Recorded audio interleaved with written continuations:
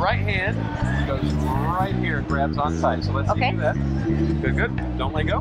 Right foot goes there on the green pad. That's the only place you can ride a hoverboard because the rest of it is very unstable due to it being uh, experimental technology at this point.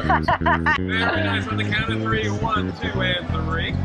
So tell us about the DeLorean. Where what happened here? How did this come to life? It's a 1982 DeLorean that my wife and I bought about 15 years ago because we're big fans of the movie Back to the Future. And we turned it into a time machine ourselves. We, we hand built all the components and we decided to use it to raise money and awareness for the Michael J. Fox Foundation for Parkinson's research. Love that. That's awesome, you guys. Thank you. Great.